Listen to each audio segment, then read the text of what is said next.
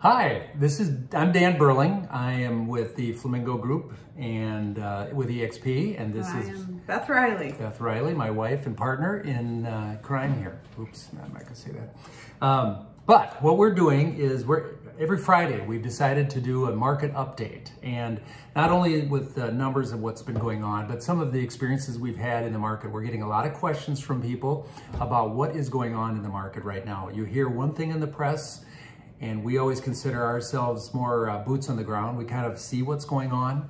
So we want to go ahead and, and give updates that we see as well as dispel maybe any uh, rumors that are out there.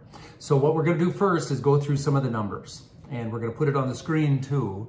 But it is going to just give you an idea specifically in Bloomington. Beth and I have lived in Bloomington for 29 years, in the metro area for 30.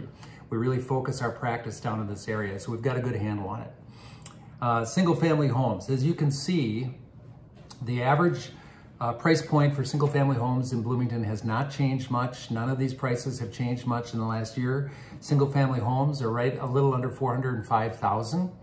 Um, and townhomes and condos similarly. Uh, closed sales, what we are seeing in the market is less um, activity. There, we still are short on um, Inventory? Inventory, thank mm -hmm. you. We're short on inventory, but it is not, as the press is saying, it's not negatively impacting pricing yet. We're not seeing that happen. There's still a lot of buyers, even with interest rates going up into the upper sixes and 7% area. And so you can see in closed sales, those are all down uh, significantly. The median sales price is, is a good indicator. Average takes everything in one pot. Median is saying, what is the middle road? Uh, what is the middle number of all of them? So it's not letting higher priced uh, homes influence the number. So this is at 375,000. And again, you can see the median for all of them is pretty much uh, consistent. Active inventory, again, is consistent with what we're hearing and seeing is that there's just less out there and uh, inventory-wise.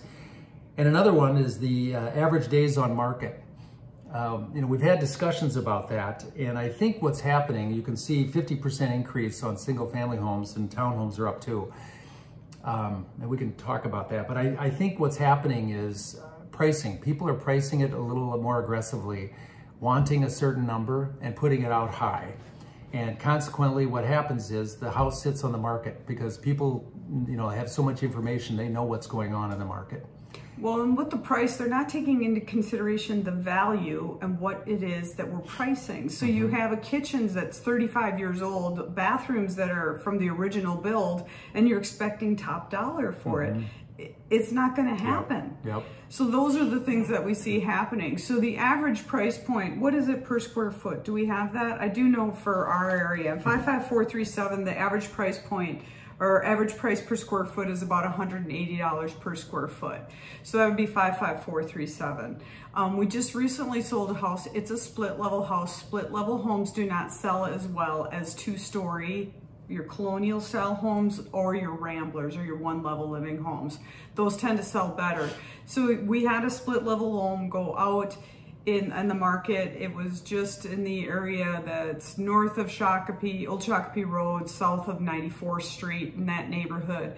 And we figured, oh, price per square foot, it's right around 180, 182. This was for split level homes. We also only price for what has sold. We don't try and say, oh, this is where the market's going. That is not our job. Our, the market will tell us because there's still a lack of good inventory, well-priced homes on the market. There's plenty of buyers, but they're not going to pay $500,000 for a home that's only worth 425 or 450. So that's what's happening. The well-priced homes that have the value and the price are right, they're selling quickly mm -hmm. and they're selling in multiple offers. Mm -hmm. And I don't know if you give the example of what happened on that one?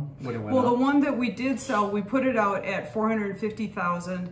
Everything else that what it was its competitor came out at 500 and 525 we were we went out at 450 we did sell in multiples so we closed at 471 beautiful but we also had multiple offers. We appraised well. We did everything. The ones that went out at 525 and 500 buyers are well educated. They can see everything online so they knew that this wasn't the right price for this home.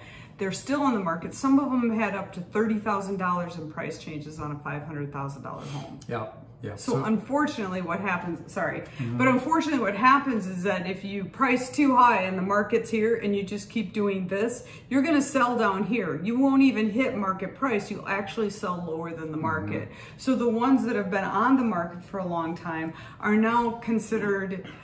The perception, again, perception is is that well, what's wrong with this house? Yep. And this is where some of this misinformation about, oh, prices are coming down. No, people are setting them too high, prices too high, and it's coming down to where the market is. So there isn't a significant change in pricing that we're seeing right now. And there's too many facts that are out there right now, too, that are indicating that we aren't going to have a bubble burst uh, similar to 08. Uh, the, the amount of people that have equity either fully own their home uh, nationwide is 40% uh, or have a significant portion in equity. You can't have a mortgage crisis if people don't have a mortgage.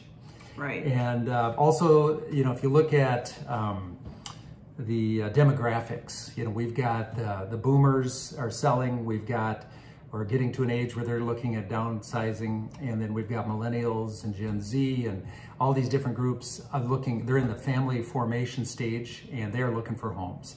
So, you know, I think there's a little bit of an adjustment with the interest rate uh, items right now, but our lenders are saying there's plenty of buyers out there. And so again, it comes down to pricing. What I wanted to mention is we're getting a lot of questions on this topic and what's my value of my home. Between 2020, the beginning of the pandemic, and, tw- and basically Now. 2022 or now, uh, the average in, average increase across the country in value was 40%, 41%. Each area location is different. What we saw in Bloomington in that period of time is 29% increase in value in equity. We're getting a lot of questions about, hey, what's my home, home worth? If you would like a more, and this is even if you're outside of Bloomington, but if you would like an analysis, um, a comparative analysis of what your home value would be right now for a variety of purposes, uh, just let us know. Uh, You can either text me at 612-206-4543 that you'd like that, or my email, which is danburling76 at gmail. We'll put those up. But just let me know if you'd like that, and we can get that information to you. Uh, the other thing is, we're going to do this every Friday, and we're trying to decide what to name it. So give us some ideas. I mean, it could be Fun Facts Friday, Flamingo? Flamingo Fun Facts, Flaming Fun Facts, Facts. So give us an idea. We'd love to hear from you. Thank you so much. Have a phenomenal weekend. Can't wait to work with you. Yep. Bye.